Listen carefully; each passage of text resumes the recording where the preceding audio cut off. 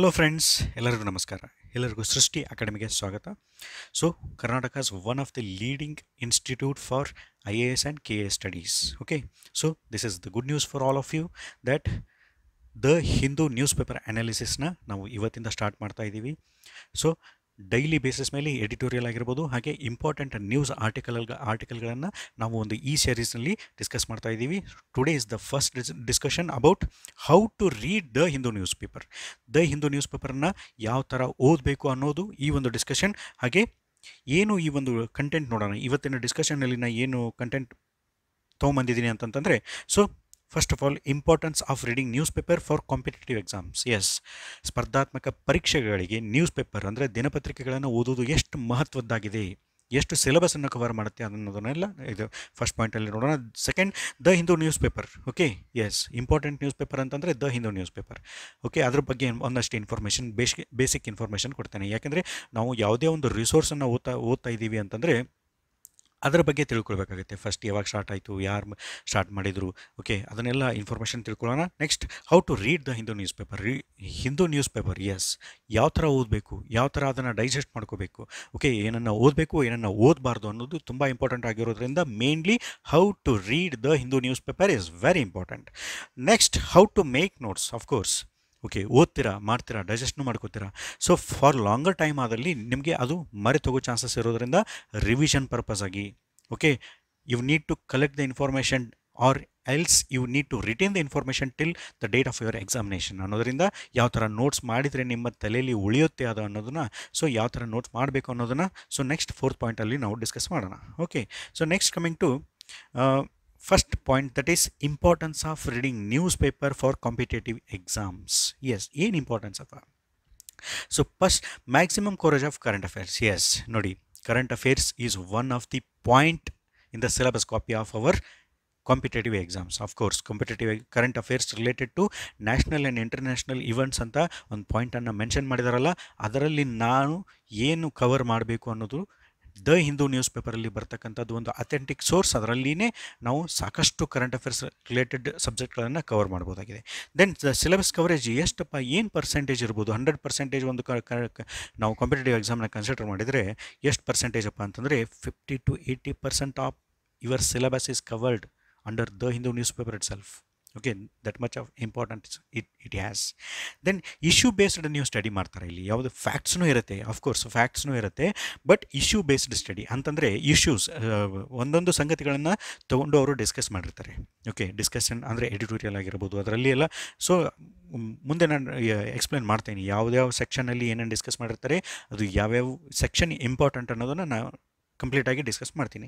Next vocabulary ನೋಡಿರಿ vocabulary sir ನಾನು P S I ಆಗಬೇಕು. ಸರ್ ಪಿ ಎಸ್ ಐ ಎಕ್ಸಾಮ್ನಲ್ಲಿ ನನಗೆ ಟ್ರಾನ್ಸ್ಲೇಷನ್ ತುಂಬ ಕಷ್ಟ ಆಗ್ತಾ ಇದೆ. English to Kannada Kannada to English English translation ಮಾಡೋದು ನನಗೆ ಕಷ್ಟ ಆಗ್ತಾ ಇದೆ. ಸರ್ ಹೇಗೆ ಅದನ್ನು ನಾನು ಇನ್ಫಾರ್ಮೇಷನ್ ಕಲೆಕ್ಟ್ ಮಾಡಲಿ ಅನ್ನೋದು, ಅನ್ನೋರು ಏನಾದರೂ ಇದ್ದರೆ ದ ಹಿಂದೂ ನ್ಯೂಸ್ ಪೇಪರ್ದು ಎಡಿಟೋರಿಯಲನ್ನು ಓದಿ ಓದಿ. ಅದರೊಳಗಡೆ ಎಲ್ಲ ಟಫ್ ವರ್ಡ್ಸ್ಗಳನ್ನು ಬರೆದಿಟ್ಕೊಂಡು ಹಾಗೆ ಆ ವರ್ಡ್ಸ್ಗಳಿಗೆ ಮೀನಿಂಗನ್ನು ಹಾಗೆ ಸಿನಾಮ್ಸ್ ಆ್ಯಂಟೋನಿಮ್ಸು ಸಿನೋನಿಮ್ಸು ಅವನ್ನೆಲ್ಲ ಬರೆದಿಟ್ಕೊಂಡು ಒಂದು ವೊಕ್ಯಾಬ್ಲರಿಯನ್ನು ರೆಡಿ ಮಾಡ್ಕೊಳ್ಳಿ.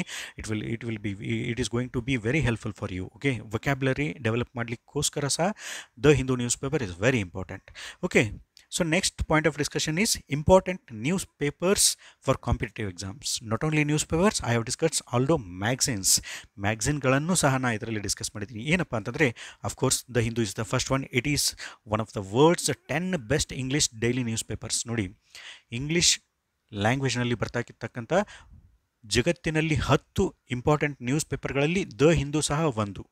ಅದು ನಮ್ಮ ಭಾರತದ್ದು. ಅದು ನಮ್ಮ ಹೆಮ್ಮೆ. Yes the economic times second thing second important newspaper. The indian express okay business standard. Then magazines kurukshetra yojana very important for competitive exams okay. So in this session we are going to discuss how to read the Hindu news paper okay the Hindu news paper ಬಗ್ಗೆ ನಾವು ಇಲ್ಲಿ discuss ಮಾಡ್ತಾ ಇದ್ದೀವಿ. So coming to next next discussion that is the Hindu yes the Hindu news paper ಯಾವಾಗ establish ಆಯಿತು, ಯಾರು founder ಅದನ್ನೆಲ್ಲ ಇನ್ಫಾರ್ಮೇಷನನ್ನು ಒಂದಷ್ಟು ಶೇರ್ ಮಾಡ್ತೇನೆ ಇಲ್ಲಿ. Okay so obviously, as I said earlier, leading newspaper of India published in English language on daily basis. Okay daily ಬೇಸಿಸ್ನಲ್ಲಿ ಬರುವಂಥ ಒಂದು ನ್ಯೂಸ್ ಪೇಪರ್ ಇದು. ನೆಕ್ಸ್ಟ್ ಇದರ ಓನರ್ ಯಾರಪ್ಪ ಅಂತಂದರೆ the Hindu group that is Kasturi and sons limited okay Kasturi and sons limited ಇವರು owner ಇದ್ದಾರೆ. ಹಾಗೆ founder ಬಂದುಬಿಟ್ಟು G Subramania Subramania Iyer. Okay G Subramania Iyer ಇವರೇ. Okay is the person Subramania Iyer. Okay founded on twenty eight September eighteen seventy eight okay twenty eight September eighteen seventy ಏಯ್ಟಲ್ಲಿ ಇದರದ್ದು ಸ್ಥಾಪನೆ ಆಗುತ್ತೆ. Then head quarters Chennai Tamil Nadu India okay ಭಾರತದ ತಮಿಳುನಾಡು ರಾಜ್ಯದಲ್ಲಿ ಚೆನ್ನೈ ಅನ್ನೋ ಒಂದು ಸಿಟಿಯಲ್ಲಿ ಇದರದ್ದು ಹೆಡ್ ಕ್ವಾರ್ಟರ್ ಇದೆ. ಸೊ ದೆನ್ ಏಯ್ಟೀನ್ ಸೆವೆಂಟಿ ಏಯ್ಟಲ್ಲಿ ಇದು ವೀಕ್ಲಿ ನ್ಯೂಸ್ ಪೇಪರ್ ಆಗಿ ಸ್ಟಾರ್ಟ್ ಆಗುತ್ತೆ. ಓಕೆ ಯಾವಾಗ ಪ್ರಾರಂಭ ಆದ ವರ್ಷನೇ ಇದನ್ನು ವಾರಪತ್ರಿಕೆಯಾಗಿ ಮಾಡ್ತಾರೆ ಅವರು ಏನಾದರೂ ಟ್ರಿಪ್ಲಿಕೇನ್ ಸಿಕ್ಸ್ ಅಂತ ಅದಕ್ಕೆ ಹೆಸರಿಟ್ಟಿರ್ತಾರೆ. ಟ್ರಿಪ್ಟಿಕ್ ಟ್ರಿಪ್ಲಿಕೇನ್ ಅಂತ, ಅಂದರೆ ಏನಪ್ಪ ಅಂತಂದರೆ it's a name of a region okay ಚೆನ್ನೈಯಲ್ಲಿ ಒಂದು, ಅಥವಾ ಒಂದು ಸೇಂಟ್ ಜಾರ್ಜ್ ಏನು ಫೋರ್ಟ್ ಇದೆಯಲ್ಲ, ಅದಕ್ಕೆ ಒಂದು ಹಾಫ್ ಕಿಲೋಮೀಟರ್ ಅಷ್ಟೇ, ಒಂದು ಫೈವ್ ಹಂಡ್ರೆಡ್ ಮೀಟರ್ಸ್ ಅಷ್ಟೇ ಡಿಸ್ಟೆನ್ಸ್ ಇರೋ ಇರುವಂಥ ಒಂದು ರೀಜನ್ ಒಂದು ಸಿಟಿ ಇದು, Triplicane okay this is the oldest city older older than Chennai Chennai ಅಂತ ಹೇಳ್ತಾರೆ ಓಕೆ ಇದು ಒಂದು ರೀಜನ್ ಹೆಸರಾಯಿತು. ದೆನ್ ಸಿಕ್ಸ್ ಅಂತಂದರೆ ಏನು? ದ ಫೌಂಡರ್ಸ್ ಅಂದರೆ ಸ್ಟಾರ್ಟ್ ಮಾಡಿದವರು ಆರು ಜನ ಇರ್ತಾರೆ. ಅದರಲ್ಲಿ ನಾಲ್ಕು ಜನ ಲಾ ಸ್ಟೂಡೆಂಟ್ಸ್ ಇರ್ತಾರೆ, ಹಾಗೆ ಇಬ್ಬರು ಸ್ಟೂಡೆಂಟ್ಸ್ ಇರ್ತಾರೆ. ಸಾರಿ ಇಬ್ಬರು ಟೀಚರ್ಸ್ ಇರ್ತಾರೆ. ನಾಲ್ಕು ಜನ ಲಾ ಸ್ಟೂಡೆಂಟ್ಸ್ ಹಾಗೆ ಇಬ್ಬರು ಟೀಚರ್ಸ್ ಟೋಟಲಿ ಸಿಕ್ಸ್ ಮೆಂಬರ್ಸ್ ಅವ್ರ ಹೆಸರು ಇಟ್ಟಿರೋದು ಟ್ರಿಪ್ಲಿಕೇನ್ ಸಿಕ್ಸ್ ಅಂತ. Okay then after that eighteen eighteen ನೈನ್ನಲ್ಲಿ ಅದನ್ನು ಡೈಲಿ ದಿನಪತ್ರಿಕೆಯಾಗಿ ಮಾರ್ಪಾಡು ಹೊಂದುತ್ತೆ. ಓಕೆ ಡೈಲಿ ಬ ಅದರ ಬರೋಕ್ಕೆ ಸ್ಟಾರ್ಟ್ ಆಗುತ್ತೆ. The Hindu news paper okay so next note very important ನೋಡಿರಿ how to read the Hindu news paper ಯಾವ ಥರ ಓದಬೇಕು? ಏನು ಸಿಲೆಬಸ್ನಲ್ಲಿ ಇದರದ್ದು ಏನು ಇಂಪಾರ್ಟೆನ್ಸು ನೋಡಿದಿರಿ fifty to eighty percent of the syllabus covered under the Hindu news paper ಅಂತ ನೋಡಿದಿರಿ. ಓಕೆ ಹಿಂದೂ ನ್ಯೂಸ್ ಪೇಪರ್ ದೊಡ್ಡದಾಗಿರುತ್ತೆ. ಅದರಲ್ಲಿ ಎಷ್ಟು ಓದಬೇಕು, ಎಷ್ಟು ಓದಬಾರ್ದು? ಎಸ್ ಏನನ್ನು ಓದಬೇಕು ಅನ್ನೋದಕ್ಕಿಂತ, ಏನನ್ನು ಓದಬಾರ್ದು ಅನ್ನೋದು ತುಂಬ ಇಂಪಾರ್ಟೆಂಟ್ ಇಂಪಾರ್ಟೆಂಟ್ ಆಗುತ್ತೆ. ಯಾಕಂದರೆ time is very important the U P S C C K P S C ಪ್ರಿಪ್ರೇಷನಲ್ಲಿ time management very important ಆಗುತ್ತೆ. ಯಾಕಂತಂದರೆ ಆನ್ ನೀವು ಡೈಲಿ ಬೇಸಿಸ್ ಮೇಲೆ ಕರೆಂಟ್ ಅಫೇರ್ಸ್ ಓಕೆ ಜನರಲ್ ಸ್ಟಡೀಸ್ನ ಓದಬೇಕು ಆಪ್ಷನಲ್ ಸಬ್ಜೆಕ್ಟ್ ಓದಬೇಕು, ಹಾಗೆ ಸಿ ಸೆಟ್ಟನ್ನು ಸಹ ನೀವು ಓದಬೇಕಾಗಿರೋದ್ರಿಂದ ಪ್ರತಿಯೊಂದು ಸಬ್ಜೆಕ್ಟ್ಗಳಿಗೂ ಸಬ್ ಪ್ರತಿಯೊಂದು ಶೆಡ್ಯೂಲ್ ಅಂದರೆ ಪ್ರತಿಯೊಂದು ಸ್ಟ್ರೀಮಲ್ಲಿ ನೀವು ಟೈಮ್ ಮ್ಯಾನೇಜ್ಮೆಂಟ್ ಮಾಡಿ ಡೈಲಿ ಬೇಸಿಸ್ನಲ್ಲಿ ಕವರ್ ಮಾಡ್ತಾ ಹೋಗಬೇಕಾಗುತ್ತೆ. ಹಾಗಾಗಿ ದ ಹಿಂದೂ ನ್ಯೂಸ್ ಪೇಪರಲ್ಲಿ ಓದೋದಕ್ಕಿಂತ ಓದಬಾರ್ದು ಇರೋದು ಸಹ ಮ್ಯಾಟ್ರ್ ಇರೋದ್ರಿಂದ ಏನನ್ನು ಓದಬೇಕು, ಏನನ್ನು ಓದಬಾರ್ದು ಅನ್ನೋದು ತುಂಬ ಇಂಪಾರ್ಟೆಂಟ್ ಆಗುತ್ತೆ. ಎಸ್ ಹಾಗಾದರೆ ಏನು ಓದಬೇಕು ಅನ್ನೋದು ಯಾವ್ದು ಹೇಳುತ್ತೆ ನಮಗೆ ಅಂತಂದರೆ, ದ ಅಥೆಂಟಿಕ್ಸ್ ನಮಗೆ ಸೋರ್ಸ್ ಅಂತಂದರೆ ಸಿಲೆಬಸ್ ಎಸ್ ಎಲ್ಲರೂ ಸಿಲೆಬಸ್ಸನ್ನು ಕಂಪ್ಲೀಟಾಗಿ ನೆನ್ಪಿಟ್ಕೊಳ್ಳಿ. ಓಕೆ, ಬರೆದಿಟ್ಕೊಂಡ್ರೂ ಪರವಾಗಿಲ್ಲ. ಬರೆದಿಟ್ಕೊಂಡು ನಿಮ್ಮ ರೂಮಲ್ಲಿ ಅದನ್ನು ಫಿಕ್ಸ್ ಮಾಡಿಬಿಡಿ. ಡೈಲಿ ಓದಬೇಕು, ಓಕೆ? ಟಿಪ್ ಆಫ್ ದಿ ಟಂಗಲ್ಲಿ ಇರಬೇಕು ಅದು ಓಕೆ, ಸಿಲೆಬಸ್. ಹಾಗೆ ಪ್ರೀವಿಯಸ್ ಇಯರ್ ಕ್ವಶನ್ ಪೇಪರ್ಸ್ ನೋಡಿರಿ. Around three to four years ಆಗಿರ್ಬೋದು ಅಥವಾ ಒಂದು ಫೈವ್ ಇಯರ್ಸ್ ಮ್ಯಾಕ್ಸಿಮಮ್ ನೀವು ಪ್ರೀವಿಯಸ್ ಇಯರ್ ಕ್ವಶನ್ ಪೇಪರ್ಗಳನ್ನು ಸ್ಟಡಿ ಮಾಡಿದರೆ ಅದರಲ್ಲಿ ಕರೆಂಟ್ ಅಫೇರ್ಸ್ ಯಾವ ಥರ ಕ್ವಶನ್ಸ್ ಕೇಳ್ತಾರೆ ಅನ್ನೋದು ನಿಮಗೆ ಒಂದು ಐಡಿಯಾ ಬರುತ್ತೆ. ಹಾಗೆ ಆ ಕ್ವಶನ್ಗೆ ನಾ ಯಾವ ಥರ ಆನ್ಸರ್ ಮಾಡಬೇಕು ಆನ್ಸರ್ ಮಾಡಬೇಕು ಅಂತಂದರೆ ನಾ ಯಾವ ಥರ ಓದಬೇಕು ಅನ್ನೋದು ನಿಮಗೆ ಕಂಪ್ಲೀಟಾಗಿ ನಾಲೆಜ್ ಗೊತ್ತಾಗುತ್ತೆ. ಆವಾಗ ಅದನ್ನೆರಡನ್ನೂ ನೀವು ಬ್ಯಾಕ್ಗ್ರೌಂಡಲ್ಲಿ ವರ್ಕ್ ಮಾಡಿಕೊಂಡು ದ ಹಿಂದೂ ನ್ಯೂಸ್ ಪೇಪರ್ ಓದೋಕ್ಕೆ ಸ್ಟಾರ್ಟ್ ಮಾಡಿದಾಗ ಓಕೆ ನಿಮ್ಮ ಟೈಮ್ ವೇಸ್ಟೇಜ್ ತುಂಬ ಕಡಿಮೆ ಆಗುತ್ತೆ. ಹಾರ್ಡ್ಲಿ ನೀವು ಒನ್ ಆ್ಯಂಡ್ ಹಾಫ್ ಅವರ್ ಅಷ್ಟೇ ನೀವು ಸ್ಪೆಂಡ್ ಮಾಡಬೇಕು ದ ಹಿಂದೂ ಜೊತೆ daily basis okay initial stages ಯಾರಾದರೂ ಸ್ಟಾರ್ಟ್ ಮಾಡಿದರೆ ಅವ್ರಿಗೆ ಟೂ ಟು ತ್ರೀ ಅವರ್ಸ್ ಆಗ್ಬೋದು. ಯಾಕಂದರೆ ಸ್ವಲ್ಪ ಅದು ಲ್ಯಾಂಗ್ವೇಜ್ ಟಫ್ ಆಗಿರೋದ್ರಿಂದ ಅಥವಾ ಅಂಡರ್ಸ್ಟ್ಯಾಂಡಿಂಗ್ ಲೆವೆಲ್ ಯಾರಿಗೆ ಕಡಿಮೆ ಇರೋದ್ರಿಂದ ಕಡಿಮೆ ಇದ್ದರೆ ಅವ್ರಿಗೇನಾಗುತ್ತೆ ಸ್ವಲ್ಪ ಟೈಮ್ ತೊಗೊಳ್ಳೋ ಚಾನ್ಸಸ್ ಇರುತ್ತೆ. ಸೊ ನೀವು ಡೈಲಿ ಅದ್ರ ಜೊತೆ ನೀವು ಅದನ್ನು ಓದೋದು, ಅದನ್ನು ಡೈಜೆಸ್ಟ್ ಮಾಡ್ಕೊಳ್ತಾ ಹೋದಂಗೆ ಹೋದಂಗೆ ಸೊ ರೂಢಿ ಆಗುತ್ತೆ. ಆವಾಗ one and half hour one one hour to one and half hour ನೀವು ಅದನ್ನು ಕಂಪ್ಲೀಟ್ ಮಾಡಲೇಬೇಕು. So before reading the Hindu news paper preparation ಏನಪ್ಪ the syllabus as well as the previous year question papers ಪರ್ಫೆಕ್ಟಾಗಿ ನಿಮಗೆ ಗೊತ್ತಿರಬೇಕು. Okay next coming to front page yes page wise ಏನು important ಇರುತ್ತೆ? Page wise ಏನು ಓದಬೇಕು ಅನ್ನೋದನ್ನು ಈಗ ಡಿಸ್ಕಸ್ ಮಾಡ್ತಾ ಹೋಗೋಣ. ಓಕೆ ಫ್ರಂಟ್ ಪೇಜಲ್ಲಿ ನೋಡಿ the front page is reserve for the most important news yes day to day ಲೈಫಲ್ಲಿ ಏನಾದರೂ ಒಂದು ಇಶ್ಯೂಸ್ಗಳು ಘಟನೆಗಳು ಘಟಿಸ್ತಾ ಇರುತ್ತೆ. ಓಕೆ ಅದರಲ್ಲಿ ಇಂಪಾರ್ಟೆಂಟ್ ನ್ಯೂಸ್ಗಳನ್ನು ಅದರಲ್ಲಿ ಹೆಡ್ಡಿಂಗ್ನಲ್ಲಿ ಹಾಕ್ತಾರೆ ಫ್ರಂಟ್ ಪೇಜ್ನಲ್ಲಿ ಓಕೆ ಒಂದಷ್ಟು ನ್ಯೂಸ್ ಪೇಪರ್ ಏನು ಮಾಡ್ತಾರಪ್ಪ ಅಂತಾರೆ? ಸೆನ್ಸೇಷನಲ್ ನ್ಯೂಸ್ ಸಲುವಾಗಿಯೇ ಸೆನ್ಸೇಷನಲ್ ನ್ಯೂಸ್ ಯಾಕೆ? ಜನರನ್ನು ಅಟ್ರ್ಯಾಕ್ಟ್ ಮಾಡಲಿಕ್ಕೆ. ಓಕೆ ನ್ಯೂಸ್ ಪೇಪರ್ ನೋಡಿದ ತಕ್ಷಣ ಜನರು ನೋಡೋದು ಫ್ರಂಟ್ ಪೇಜನ್ನು ಫ್ರಂಟ್ ಪೇಜ್ನಲ್ಲಿ ಅಟ್ರ್ಯಾಕ್ಟ್ ಮಾಡೋಕ್ಕೆ ಸೆನ್ಸೇಷನಲ್ ನ್ಯೂಸ್ಗಳಿಗಾಗಿಯೇ ಮೀಸಲಿಟ್ಟಿರ್ತಾರೆ ಕೆಲವು ನ್ಯೂಸ್ ಪೇಪರ್ಗಳು ಓಕೆ ಸೊ ಇದರಲ್ಲಿ ಏನಪ್ಪ ಅಂತಂದರೆ ನೀವು ಚೂಸ್ ಮಾಡಬೇಕು. ಓಕೆ ನ್ಯೂಸ್ ರಿಲೇಟೆಡ್ ಟು ನನ್ನ ಸಿಲೆಬಸಲ್ಲಿ ಯಾವ ಥರ ಬರ್ತೈತೆ? ಪ್ರೀವಿಯಸ್ ಇಯರ್ ಕ್ವಶನ್ ನನ್ನ ಕ್ವಶನ್ ಪೇಪರ್ನ ಸ್ಟಡಿ ಮಾಡಿದಾಗ ಯಾವ ಥರ ಕ್ವಶನ್ ಕೇಳಿದ್ದಾರೆ? ಅನ್ನೋದ್ರ ಮೇಲೆ ನೀವು, ಅನ್ನೋದ್ರ ಬೇಸಸ್ ಮೇಲೆ ನೀವು ಡಿಸೈಡ್ ಮಾಡಬೇಕು whether to read this article or not ಅಂತ. Okay front ಪೇಜ್ನಲ್ಲಿ okay sensational news important articles of the day ಅನ್ನು ಅಲ್ಲಿ ಮೆನ್ಷನ್ ಮಾಡಿರ್ತಾರೆ. It is left to you choose ಮಾಡಬೇಕು ನೀವು. Okay by looking at your syllabus next okay this is the front page okay ಇಲ್ಲೇ heading ಇಲ್ಲೇ mention ಮಾಡಿರ್ತಾರೆ. So next next ಪೇಜಲ್ಲಿ ಏನು ಬರುತ್ತೆ ಅಂತಂದರೆ ಸಿಟಿ ಆ್ಯಂಡ್ ರೀಜ್ನಲ್ ನ್ಯೂಸ್ ಅಂತ ಕೊಡ್ತಾರೆ. ಇದು ಅಷ್ಟೊಂದು ಪ್ರಾಮಿನೆಂಟ್ ಆದಂಥ ನ್ಯೂಸ್ ಇಲ್ಲ, ಇದರಲ್ಲಿ ಇರೋದಿಲ್ಲ. ಸಿಟಿ ರಿಲೇಟೆಡ್ ಆಗಿರ್ಬೋದು ಲೋಕಲ್ ನ್ಯೂಸ್ ಬರುತ್ತೆ. ಓಕೆ ರೀಜ್ನಲ್ ನೋಡಿ ಸಿಟಿ ಅಂತಂದರೆ ಬೆಂಗಳೂರು ಅಂತ ಇರುತ್ತೆ ಇಲ್ಲಿ. ಕರ್ನಾಟಕ ಸ್ಟೇಟ್ ಬಗ್ಗೆ ಆಗಿರ್ಬೋದು, ಹಾಗೆ ಸೌತ್ ಅಂತ ಬರುತ್ತೆ ಸೌತ್ ರೀಜನ್ ಬಗ್ಗೆ, ಹಾಗೆ ನಾರ್ತ್ ಈಸ್ಟ್ ರೀಜನ್ ಇವನ್ನೆಲ್ಲ ಡಿಸ್ಕಸ್ ಮಾಡಿರ್ತಾರೆ ಈ ಥರ. ರೀಜನ್ ವೈಸ್ ಡಿಸ್ಕಸ್ ಮಾಡಿರ್ತಾರೆ. ಹಾಗೆ ಅದು ನಮಗೆ ಅಷ್ಟೊಂದು important news ಅನಿಸ್ಕೊಳ್ಳೋದಿಲ್ಲ. U P S C concert okay U P S C I A S preparation ಯಾರು ಮಾಡ್ತಿರ್ತಾರೆ ಅವ್ರಿಗೆ ಹೇಳ್ತಾ ಇದ್ದೀನಿ. ಸೊ ಲೋಕಲ್ ನ್ಯೂಸ್ ಆಗಿರ್ಬೋದು ಏನಾದರೂ ಇನಾಗ್ರೇಷನ್ನು ಅದು, ಇದು ಈ ಥರ ಅಷ್ಟೇ ಇನ್ಫಾರ್ಮೇಷನ್ ಅದರಲ್ಲಿ ಅದರಲ್ಲಿ ಕೊಟ್ಟಿರೋದ್ರಿಂದ ಅಷ್ಟೊಂದು ಇಂಪಾರ್ಟೆಂಟ್ ಆಗೋದಿಲ್ಲ. So next editorial and op-eds ನೋಡಿರಿ. ಎಷ್ಟು ಸ್ಟಾರ್ ಹಾಕಿದ್ರೂ ಕಮ್ಮಿನೇ. ಅಷ್ಟು ಸ್ಟಾರ್ ಹಾಕ್ಕೊಂಡು ಓದಿ ಈ ಪೇಜ್ಗಳನ್ನು. ಯಾಕಂದರೆ these are very very important news ಪೇಪರಲ್ಲಿ ತುಂಬ ಇಂಪಾರ್ಟೆಂಟ್ ಆಗಿರೋದಂತಂದರೆ ಇದೆ. ಎಡಿಟೋರಿಯಲ್ ಹಾಗೆ ಓಪೆಡ್ ಅಂತಂದರೆ ಓಪನ್ ಎಡಿಟೋರಿಯಲ್ ಓಕೆ ಎಡಿಟೋರಿಯಲ್ ಅಂತಂದರೆ ಏನಪ್ಪ? ಕನ್ನಡದಲ್ಲಿ ಸಂಪಾದಕೀಯ. ಓಕೆ ನುರಿತ ಸಂಪಾದಕರಿಂದ ನ್ಯೂಸ್ಗಳನ್ನು ಅನಾಲಿಸಿಸ್ ಮಾಡಿ ಅದ, ಅದರ ಬಗ್ಗೆ ಒಂದು ವಿಮರ್ಶೆ ಮಾಡಿರ್ತಾರೆ. ವಿಮರ್ಶಾತ್ಮಕವಾಗಿ ಅವರು ಡಿಸ್ಕಸ್ ಮಾಡಿರ್ತಾರೆ. ಅದನ್ನು ಈ ಒಂದು ಪೇಜ್ನಲ್ಲಿ ಅವರು ಮೆನ್ಷನ್ ಮಾಡ್ತಾರೆ. ಡೈಲಿ ಬೇಸಿಸ್ ಮೇಲೆ ಸಂಡೇ ಒಂದು ದಿವಸ ಬಿಟ್ಟು. ಓಕೆ ಓಪೆಡ್ ಅಂತಂದರೆ ಓಪನ್ ಎಡಿಟೋರಿಯಲ್ ಅಂತಂದರೆ ಓದುಗರು ಅದನ್ನು ಡಿಸ್ಕಸ್ ಮಾಡಿರ್ತಾರೆ. ಅದೇ ಕಾನ್ಸೆಪ್ಟ್ಗಳನ್ನು ಓದುಗರು ರೀಡರ್ಸ್ ಅದನ್ನು ಡಿಸ್ಕಸ್ ಮಾಡಿದ್ದು ಕ್ವಶನ್ಸ್ ಕೇಳಿದ್ದು, ಆ ಥರ ಅಲ್ಲಿ ಓಪೆಡ್ನಲ್ಲಿ ಕೊಟ್ಟಿರ್ತಾರೆ. ಅದು for some extent important but ಅದಕ್ಕಿಂತ ಮೋರ್ ಇಂಪಾರ್ಟೆಂಟ್ ಓಪೆಡ್ನಲ್ಲಿ ಅಂತಂದರೆ ಈ ಗ್ರಾಫ್ಸ್ ಓಕೆ, ಈ ಗ್ರಾಫ್ಸು, ಗ್ರಾಫಿಕಲ್ ರಿಪ್ರೆಸೆಂಟೇಷನ್ಗಳನ್ನು, ಡೇಟಾಗಳನ್ನು ಗ್ರಾಫಿಕಲ್ ರಿಪ್ರೆಸೆಂಟೇಷನಲ್ಲಿ ತೋರಿಸಿರ್ತಾರಲ್ಲ, ಅದು ತಿಂ, ತುಂಬ ಇಂಪಾರ್ಟೆಂಟ್ ಆಗುತ್ತೆ.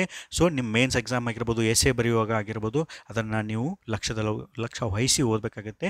ಆ ಪಾಯಿಂಟ್ ಏನಾದರೂ ಇಂಪಾರ್ಟೆಂಟ್ ಇದ್ದರೆ ದಯವಿಟ್ಟು ನೋಟ್ ಮಾಡ್ಕೊಳ್ಳಿ, okay?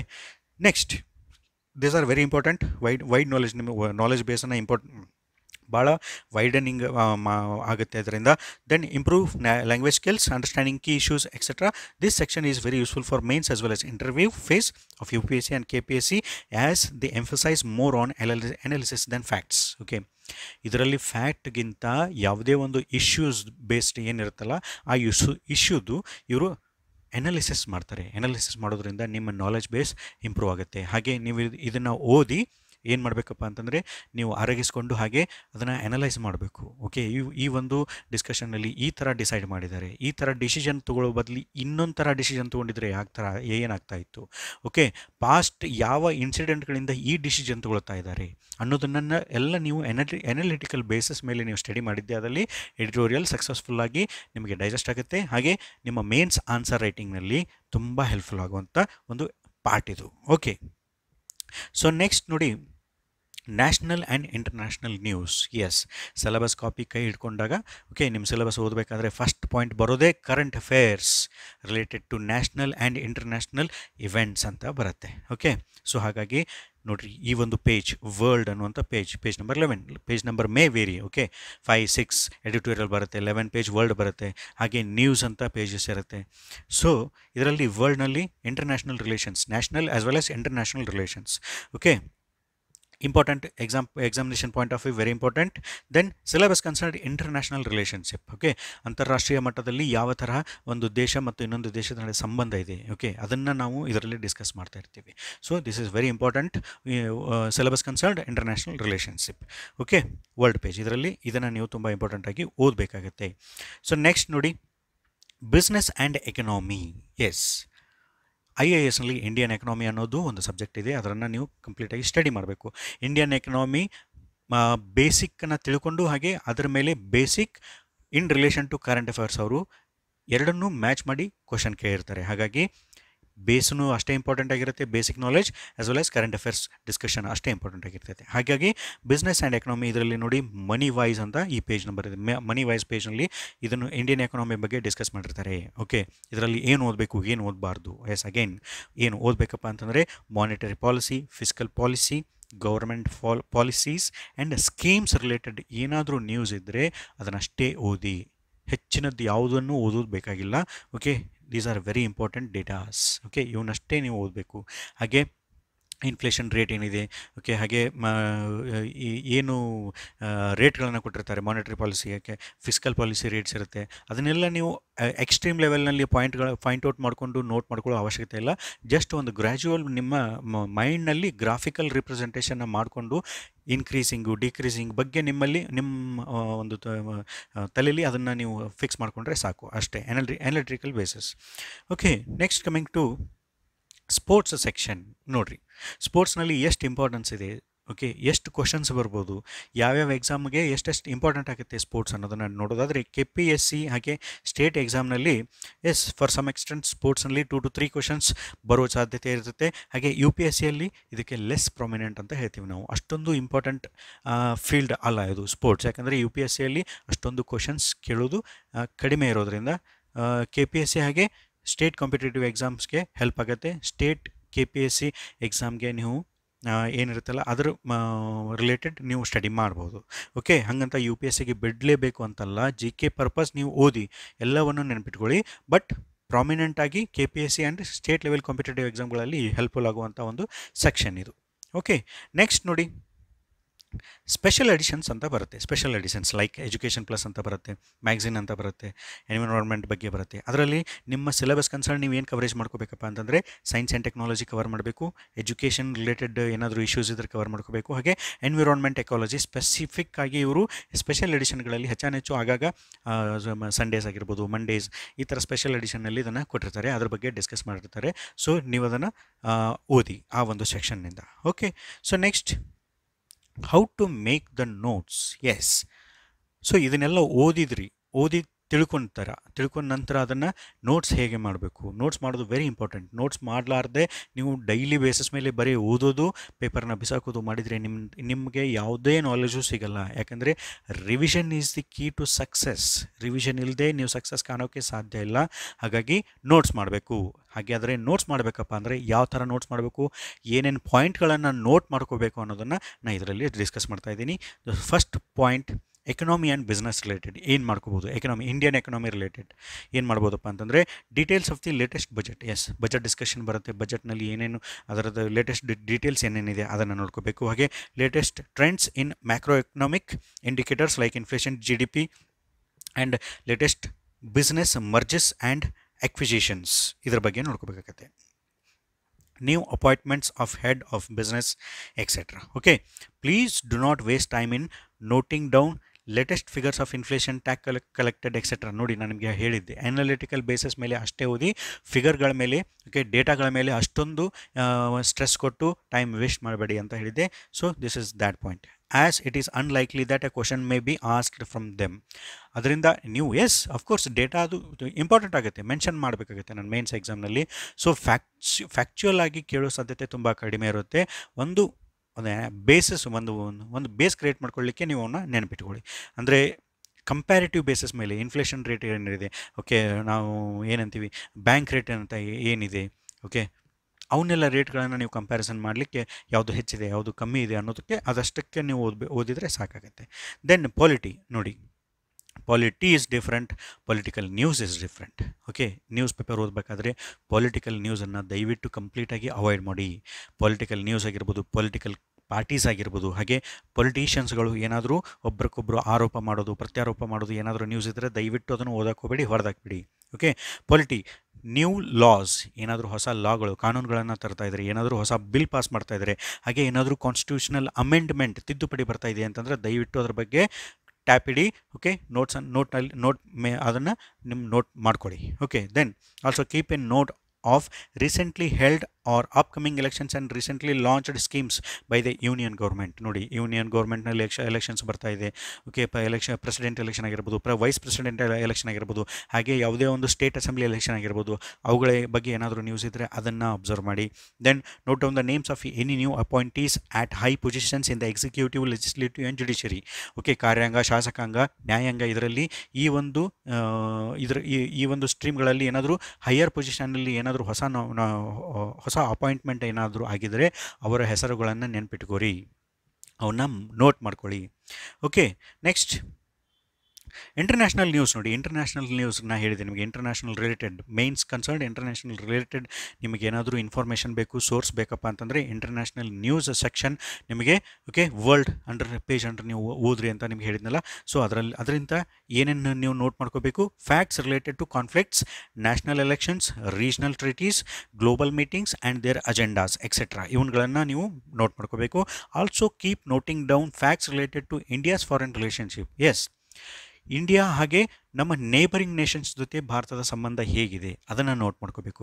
ಹಾಗೆ important economies of the world ಆಗಿರ್ಬೋದು ಇಂಪೋರ್ಟ್ ಎಕ್ಸ್ಪೋರ್ಟ್ ಮಾಡ್ಕೊಳಕ್ಕಂಥ ದೇಶ ಆಗಿರ್ಬೋದು, ಇವ್ರ ಜೊತೆ ಎಲ್ಲ ನಮ್ಮದು ರಿಲೇಷನ್ ಹೇಗಿದೆ ಅನ್ನೋದನ್ನು ನೀವು ಇಂಟರ್ನ್ಯಾಷನಲ್ ರಿಲೇಷನ್ ಅಂತ ಹೆಡ್ಡಿಂಗ್ ಅಂದರೆ ನೀವು ಅದನ್ನು ನೋಟ್ ಮಾಡ್ಕೊಳ್ತಾ ಹೋಗಿ. ಓಕೆ ಪ್ರತಿಯೊಂದಕ್ಕೂ ಸಪ್ರೇಟ್ ಸಪ್ರೇಟ್ ನೋಟ್ಸ್ ಮಾಡಿ ಫೋಲ್ಡರ್ಗಳನ್ನು ಮಾಡಿ ಓಕೆ ಎಕನಾಮಿ ಎಕನಾಮಿಗೆ ಸಪ್ರೇಟ್ ಫೋಲ್ಡರ್ ಮಾಡಿ ಪಾಲಿಟಿಗೆ ಸಪ್ರೇಟ್ ಫೋಲ್ಡರ್ ಮಾಡಿ ಕರೆಂಟ್ ಅಫೇರ್ಸ್ ರಿಲೇಟೆಡ್ನ ಹೇಳ್ತಾ ಇರೋದು. ಓಕೆ ದೆನ್ ಸ್ಪೋರ್ಟ್ಸ್ ರಿಲೇಟೆಡ್ ನೋಡಿ ಕೆ ಪಿ ಎಸ್ ಸಿ ಆಗಿರ್ಬೋದು, ಹಾಗೆ ಸ್ಟೇಟ್ ಕಾಂಪಿಟೇಟಿವ್ ಎಕ್ಸಾಮ್ಸ್ಗೆ ಸ್ಪೋರ್ಟ್ಸ್ ನೀವೇನಾದ್ರು ಮಾ ತಯಾರಿ ಮಾಡ್ತಾ ಇದ್ದೀರಿ ಅಂತಂದರೆ ಸ್ಪೋರ್ಟ್ಸ್ ಸೆಕ್ಷನಲ್ಲಿ names of the winners of major international and national level tournament okay national ಆಗಿ ಇಂಟರ್ನ್ಯಾಷನಲ್ ಲೆವೆಲಲ್ಲಿ ಟೂರ್ನಮೆಂಟ್ ಏನಾದರೂ ನಡೆದಿದ್ರೆ ಅದರಲ್ಲಿ ಯಾರು ಗೆದ್ದಿರ್ತಾರಲ್ಲ, ಅವರ ಹೆಸರುಗಳನ್ನು ಮೆನ್ಷನ್ ಮಾಡಿಟ್ಕೊಳ್ಳಿ ನೋಟ್ ಮಾಡಿಟ್ಕೊಳ್ಳಿ. ಹಾಗೆ ಇಂಟರ್ನ್ಯಾಷನಲ್ ಟೇ auto and it ಆಟೋಮಿಕಲ್ automatically becomes important for your exams ಯಾವುದು? Okay the person from India ನಮ್ಮ ದೇಶದ ಯಾವುದಾದ್ರೂ ವ್ಯಕ್ತಿ ಒಂದು ಟೂರ್ನಮೆಂಟ್ ಆಗಿರ್ಬೋದು ಒಲಿಂಪಿಕ್ಸ್ ಆಗಿರ್ಬೋದು ಇಂಟರ್ನ್ಯಾಷನಲ್ ಲೆವೆಲ್ ಲೆವೆಲ್ನಲ್ಲಿ ಭಾಗವಹಿಸ್ತಾ ಇದ್ದಾರೆ ಅಂತಂದರೆ that's going to be very important news for us ಹಾಗಾಗಿ ಅವರ ಹೆಸರುಗಳನ್ನು ಗೆದ್ದವರ ಹೆಸರುಗಳನ್ನು ಓಕೆ ಅವರು ಯಾವ ಪ್ಲೇಸ್ ಗೆದ್ದರು ಯಾವ ಪದಕ ಪದಕ ಗೆದ್ದರು ಅನ್ನೋದನ್ನು ನೀವು ನೋಟ್ ಮಾಡಿ ಇಟ್ಕೋಬೇಕಾಗುತ್ತೆ. ಮಿಸ್ಲೇನಿಯಸ್ ಅದರ್ಸ್ ನೀವೇನು ಮಾಡ್ಬೋದು this may include information on new technological development science and technology ಅಂತ ನೀವು ಸ್ಟಡಿ ಮಾಡ್ತಾ ಇದ್ದಾರೆ ಅಂತ ಹೇಳಿದ್ದೀನಿ ಮ್ಯಾಗ್ಝಿನಲ್ಲಿ then celebrations related to cultural festival international days like world environment day etcetera ಇವು, ಇವುಗಳನ್ನು ನೀವು ಸಪ್ರೇಟ್ ಮಿಸ್ಲೇನಿಯಸ್ ಅಥವಾ ಅದರ್ಸ್ ಅಂತ ಒಂದು ಬೇರೆ ಫೋಲ್ಡರ್ ಮಾಡಿಕೊಂಡು, ಅದರಲ್ಲಿ ಸೈನ್ಸ್ ಆ್ಯಂಡ್ ಟೆಕ್ನಾಲಜಿ ರಿಲೇಟೆಡ್ ಆಗಿರ್ಬೋದು. ಓಕೆ ಹಾಗೆ ಏನಾದರೂ ಕಲ್ಚರಲ್ ಫೆಸ್ಟಿವಲ್ ಯಾಕಂದರೆ ನಿಮಗೆ ಆರ್ಟ್ ಆ್ಯಂಡ್ ಕಲ್ಚರ್ನಲ್ಲಿ ಕೇಳುವಂಥ ಸಾಧ್ಯತೆ ತುಂಬ ಇರೋದ್ರಿಂದ ಆರ್ಟ್ ಆ್ಯಂಡ್ ಕಲ್ಚರ್ ರಿಲೇಟೆಡ್ ನೀವು ಅದನ್ನು ಸಪ್ರೇಟ್ ಫೋಲ್ಡರ್ ಮಾಡಿಕೊಂಡು ಮೇಂಟೈನ್ ಮಾಡಿ, ಹಾಗೆ ಅದನ್ನು ಡೈಲಿ ಆ ಫೋಲ್ಡರ್ನಲ್ಲಿ ನಿಮ್ಮ ನೋಟ್ಸ್ನ ಆ್ಯಡ್ ಮಾಡ್ತಾ ಹೋಗಿ ರಿವಿಷನ್ ಮಾಡ್ತಾ ಹೋಗಿ ಟೆಸ್ಟ್ ಸೀರೀಸ್ಗಳನ್ನು ತಗೊಳ್ತಾ ಹೋಗಿ. So wish you all the very best for your preparation thanks for watching this video will meet in the next video bye